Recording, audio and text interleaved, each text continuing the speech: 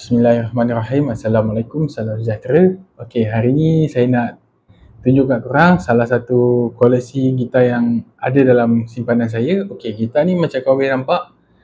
Ini ialah gitar NK gitar.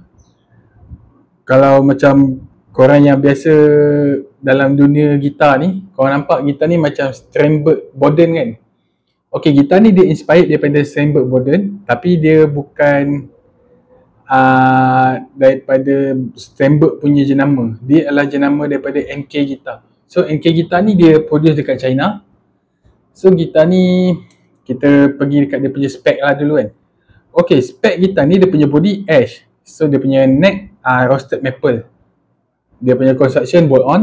Dia ada battery compartment untuk pick up dia. Pick up dia pakai active pick up daripada Attack Sound. Attack Sound ni daripada Korea punya company lah. So dia punya bridge dia ni yang ni dia fake bridge. Dia bukan floating. Dia ada satu volume, satu tone, three way switch. Dan gitar ni dia tak ada kepala macam kau boleh nampak. Sebab semua uh, tuning punya benda kita akan buat dekat sini. So gitar ni punya body dia inspired daripada Steinberg Borden. Uh, okay, gitar ni dia ada luminless side dot which is yang glow in the dark dekat sini. Dan juga ada dot luminous dekat fretboard juga. Tapi kecil lah. Tak berapa nampak sangat. Dan gitar ni datang dengan bone nut dengan stainless steel fret. Ok so gitar ni apa lagi yang saya boleh cerita? Dia multi scale sebab dia fan fret. Multi scale tu maksudnya tali dekat bawah dia punya scale dia 25 inci. Tali atas dia punya scale dia 25.5 inci. So ada beza 0.5 inci dekat dia punya scale length dia Okey, gitar ni berat dia 1.6 kg je. Memang ringan lah. Memang sedap lah untuk kalau korang nak letak atau apa tu tak rasa berat. Tu kalau main duduk, kalau main berdiri tak sakit bahu lah. Memang best lah gitar ni. Dan lagi apa yang saya boleh cerita, okey. Itu dia punya basic spec dia lah. Gitar ni made in China. Okey, uh, kita cerita pasal dia punya advantage lah. Okay, saya suka sangat gitar ni sebab dia ringan.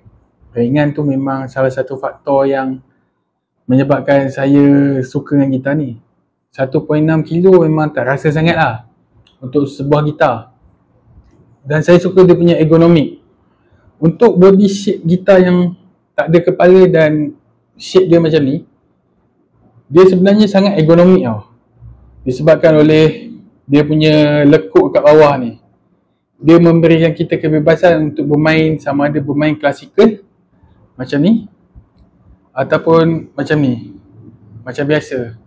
Sebab disebabkan oleh dia punya sini lah menyebabkan mudah kita main letak atau apa untuk main cara klasikal. Dan satu lagi disebabkan oleh dia punya fret dia yang uh, multi scale dia menyebabkan gitar ni kita kata selesa lah untuk bermain secara klasikal. Dan gitar ni um, apa lagi saya boleh cakap lah tapi harga dia memang lagi murah daripada Steinberg Borden. Steinberg Borden kalau tak silap saya harga dalam 8k hingga 10-12k boleh 12k dalam ringgit Malaysia itu harga Strandberg tapi untuk harga gitar ni harga dia dalam 2000 2.5k dan ke bawah. Dia range dalam tu lah. 2000, 2.5 ataupun 3 untuk model ni. Dan sekarang model ni saya tak pasti ada lagi ke tak. Tapi gitar ni sebenarnya previous owner dia beli daripada daripada satu website China. Saya tak pasti. AliExpress ke apa lah Kayaknya perlu dia order dulu kita ni. Kena order dulu dah ambil masa berapa lama tak and then dia akan shipping ke Malaysia. Dia menjadikan macam agak agak leceh tapi berbaloi lah. Itu dia punya ni lah. Sebab dekat Malaysia rasanya tak ada lagi kedai gitar yang bawa masuk uh, NK gitar. Tapi kalau ada korang boleh bagi tahu saya dekat ruangan komen. Okay, advantage dia lagi yang saya suka pasal gitar ni dia punya tuning stability. Dia punya disebabkan dia bukan floating dan dia dia punya brace system ni brace system dan juga kita panggil dia punya tuner dia memang setakat ni saya pakai pun dia kalau bila dah lama tak main bila kita uh, tuning balik hanya beberapa, tali je yang lari dalam 1-2% je dia punya tuning. Kita, kalau kita tengok dekat tuner kan jari, uh, tengah kan most of the tali memang dia dekat tengah. Cuma ada satu dua tali yang dia lari sikit je. Kita kena adjust sikit je dekat sini. Memang itu dia punya kelebihan lah kita ni. Satu lagi kita ni dia active pickup itu kelebihan dia lah yang kalau untuk active pickup saya suka lah kita ni. Sebab dia punya pickup dia ni agak kita panggil agak break juga ah. Dia agak agak panas lah. Output dia pun memang tinggi juga ah. 16 ke 16 setengah ohm punya ukuran untuk gitar ni. So dan gitar ni apa lagi yang saya suka? Dia datang dengan dia punya back ah. Back dia tu agak bukan bukan standard back yang yang canvas yang biasa kita beli kat kedai kan dia punya back pun agak ada kualiti juga ah back dia tu yang best dengan gitar ni so lagi ya gitar ni memang tak banyak kerenah sangat lah sepanjang ada dalam saya punya simpanan. Dan okey untuk gitar ni tak ada kekurangan pun saya nak cerita pasal gitar ni sebab bagi saya gitar ni memang ada perfect gitar lah untuk model macam ni. Cuma kekurangan mungkin sebab kalau kata kita nak beli yang baru daripada NK Gitar punya company tu memang agak leceh sikit lah, itu je lah. So saya harap kalau kata di masa depan mungkin kalau ada permintaan untuk gitar ni mungkin ada uh, kedai gitar kat Malaysia yang akan orang kata sanggup lah untuk bawa model ni masuk.